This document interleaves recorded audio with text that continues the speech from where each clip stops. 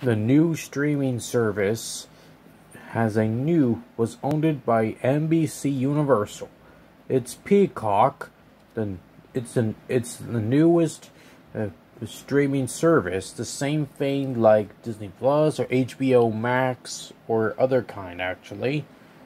So anyhow, it has hit movies and shows, hundreds of movies, and include the original Universal Pictures movies, including uh, Back to the Future and American Tail, Jaws, Jurassic Park, Jurassic World, and most of all, it will have Despicable Me 1, 2, 3, Minions, Hop, uh, The Secret Life of Pets, Sing, The Lorax, The Grinch, and other kind, for example.